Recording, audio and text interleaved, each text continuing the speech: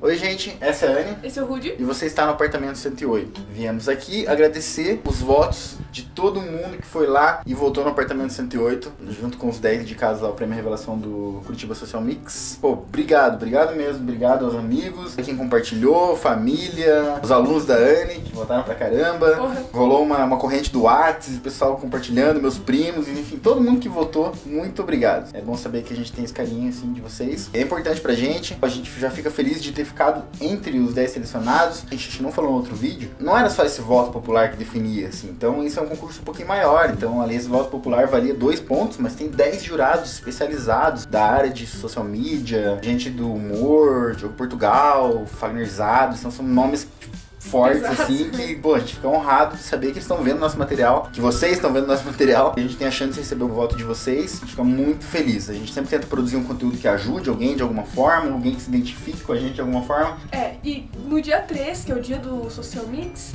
a gente vai estar lá, claro, filmando tudo pra vocês assistirem depois o nosso resumo. Também tem a transmissão ao vivo do evento, que depois a gente, quando a gente souber do link e tal, a gente publica. Vai sempre transmite ao vivo é, o dia inteiro e tal do evento. E a gente vai ficar sabendo no palco quem que ganhou a votação geral, né? Juntando né, o voto popular com o dos jurados. Então a gente tá super ansioso e feliz e etc. Então, muito obrigada mesmo por todo mundo que ajudou. Então, valeu todo mundo e principalmente valeu o pessoal do CSM, o Sandro Rodrigues, o pessoal que tá sempre fazendo as lives ali, O Robson, O que Robson, é brother, pô, né? valeu, Robson. E muito obrigado pelo reconhecimento, por estar montando esse, esse, esse grupo forte do pessoal de Curitiba dentro do YouTube, que é uma coisa que faltava. E se você, por acaso, jovem, mancebo, é o manceba, que está vendo esse vídeo e não sabe do que se trata, o CSM, e se você se interessa por mídias digitais, por é, empreendedorismo, por internet, por produção de conteúdo, cinema, se tudo isso é interessante pra você, corre lá na página do Curitiba Social Mix no Facebook, corre no site deles, a gente vai deixar o link aqui ó, na tela pra vocês verem. Compra ingresso, participa do evento, que é um evento muito produtivo pra quem gosta desse tipo de conteúdo. Nós somos prova disso, nós participamos do CSM do ano passado. A gente sempre participa, mas a gente participou do, do ano passado, a gente saiu do CSM e montou o nosso canal, menos de um mês depois. Foi uma coisa, foi muito legal. e assim, agora a gente tá aqui, a gente se sente fazendo parte já desse evento. E pra finalizar, a gente quer de novo parabenizar e agradecer aos outros nove finalistas que são pesados também. E agora, porque a gente tá na cozinha falando de social mix, mas que caramba, apartamento 108 na cozinha, porque a cozinha é o melhor lugar da casa, na verdade, né? de lá que vem as comidas. É, estamos aqui porque a gente comprou o depurador, vamos mostrá-lo. Talvez ele esteja aparecendo aqui já vazando no vídeo aqui no cantinho desde que a gente começou a falar. Mas vamos mostrar. A gente vai mostrar um unboxing, a gente vai mostrar assim que ele chegou, a gente já abriu, já filmou, e a gente vai mostrar como Ele ele, funciona. Ele tem um funcionamento muito simples. Primeiro veja o unboxing. Oi, gente, essa é a Anne, Esse é o Rudy. e esse é o Coringa. E esse é o nosso depurador. Sugar. E você está no apartamento 108.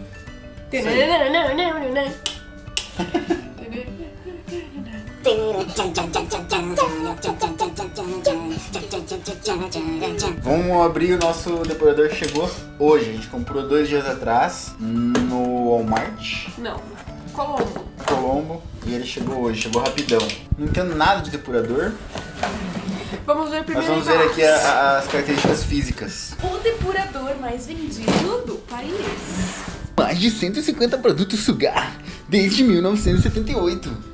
Elimina fumaça, gordura e cheiros fortes da sua cozinha. Cuidado frágil. Aqui dentro tem uma taça, um guarda-chuva e a carta maligna do Uno. A gente comprou o modelo Slim, que é um pouquinho mais fino que os, que os normais, que os convencionais de todas as marcas. E ele tem 60 centímetros, que é pro nosso fogão de quatro bagulhos redondos. Ó, Não aqui, vou chamar de boca mais. aqui tem uma parada que tá escrito assim, ó. Que ele tem três velocidades, tem uma luminária, ele é feito de aço inox, pra combinar com nossa geladeira. É, e daí tem isso aqui, ó. Tela e alumínio lavável e manta de carvão de fato. Peraí. Onde você vai com isso? Onde ela vai com isso? Eu tô com, mão, eu tô com o dedo cortado.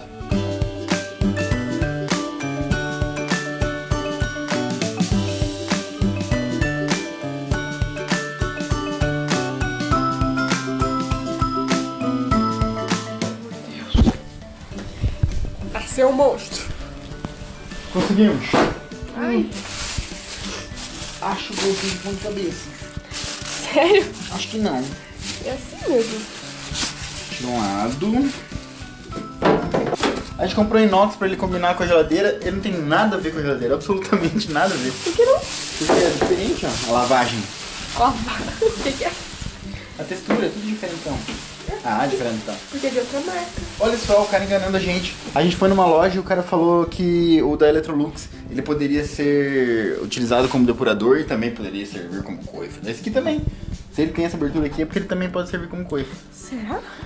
Pode, só que você tem que instalar um encanamento aqui, que é as mangueiras e tal, pra ele funcionar como coifa, tipo, realmente tirando a fumaça. Ó a cara. Sugar. Esse é o menino, acho que ele já desmontou. Essa é a parte de acho que ele já baixo? desmontou aqui, hein? Abre aí, vamos ver o que que tem dentro. Tem aqui, ó, acho que é aquela manta lá com bolo de carvão. Não, isso não é. É sim. Não é, capaz. Que sim, e a parte alumínio. Exatamente o que tá escrito que é lá. isso? Aqui acho que, uma, isso? que manual. Manual. Nossa, é é legal abrir um produto que você não. Não sabe o que, que é. Mas que plástico sem vergonha isso aqui. Ó, isso aqui eu acho que é a tampa caso você não vai usar como uma coisa. Ó, que legal. Que bacana. Vamos ver. Aqui, ó, os parafusos de fixação, buchas. Aqui é a manta do carvão ativado, que tá escrito na caixa, e aqui é a tela de alumínio, que tá escrito na caixa. O ar passa, o ar passa, ele passa por esse negócio aqui, é filtrado, e depois ele volta para o ambiente. Bom, Ok. então agora a gente vai descobrir como que A gente vai descobrir instala. como que instala, não vou poder instalar hoje, porque isso aqui, né, tem que furar a parede e tal, já é... Já é noite. Não podemos mais fazer barulho de furadeira nesse horário aqui, pelo bem da, da convivência, né? Eu também não quero vizinho nenhum fazendo barulho de furadeira a altas horas da noite. Então daqui a pouquinho eu volto instalando ele e já mostrar ele funcionando pra você. E queria só falar, a gente não tem como atender todas as pessoas que pedem esse tipo de coisa, porque, né? Então deixamos aqui nosso beijo a todos que estão aí assistindo. Mas eu não posso deixar de mandar esse beijo aqui, que foi solicitado pelo filho da dona Tânia. O Gunter. O Gunter, parece que a gente tem que se pronuncia, eles são de, eles são de Florianópolis. E ele pediu um beijo pra dona Tânia, que é muito fã da gente. Fã. Ela é muito fã da gente. Valeu, dona Tânia. Obrigado pelo carinho. Um beijo pra vocês. Viu o unboxing? Então vamos mostrar ele. Aqui, ó. Então tá aqui o nosso depurador da Sugar. Sugar. Sugar. Sugar. Sugar. Sugar. Sugar. Sugar. Sugar. É um modelo relativamente simples. Ah, o que ele tem aqui no painel dele são cinco botões, tá?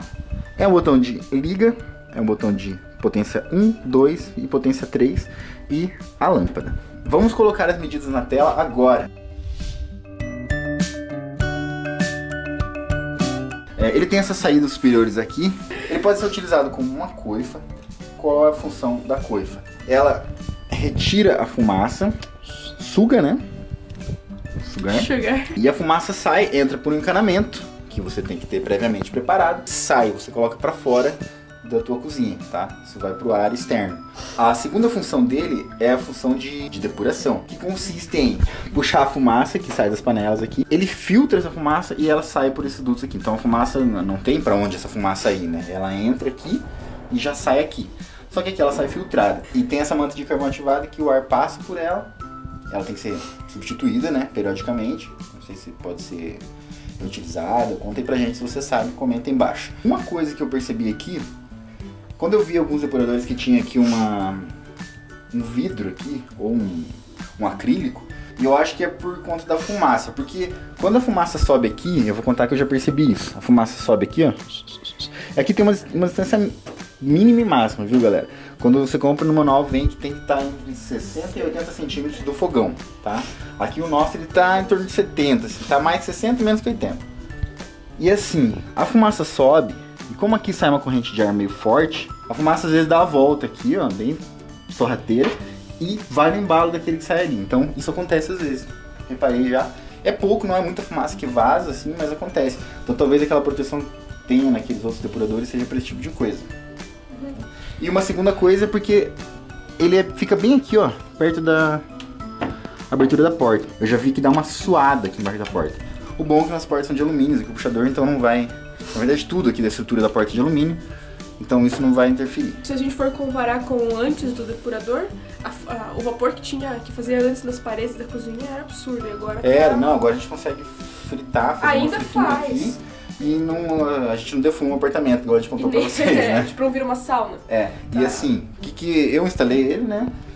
Eu deixei aqui um espaço de um dedo mais ou menos aqui, um dedo mais ou menos em cima, que foi o suficiente para eu passar a fiação pro cantinho e montar uma tomada, que eu montei ali no canto, tá? Eu que fiz, viu?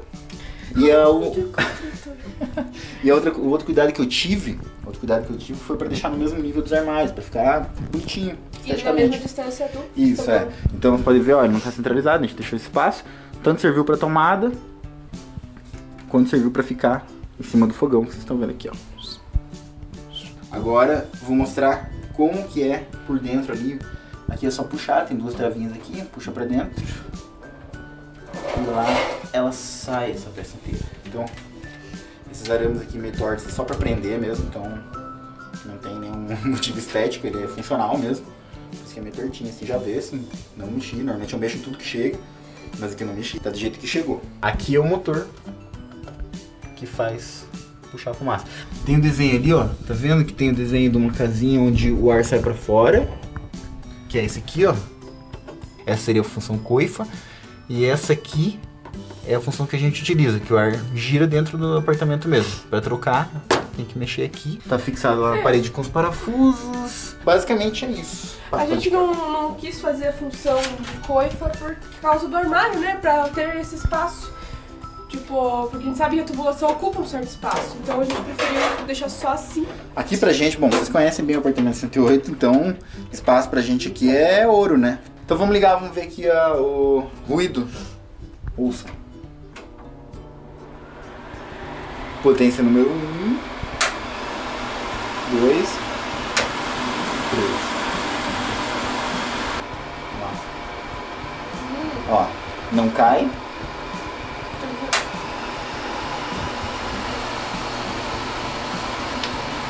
Queria que ele ficasse sozinho.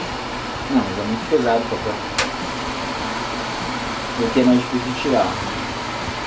Essa potência máxima. Ó. Companhia do gás.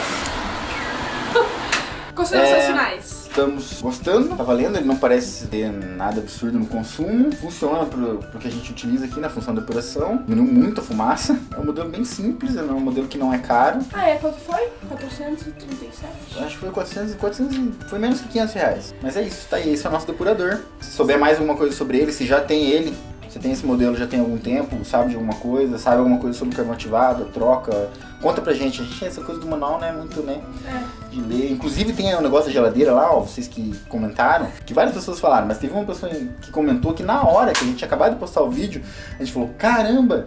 Corremos pra geladeira e a gente foi lá e viu que desmonta todo aquele dispenser que a gente tava indignado, né, a respeito dele.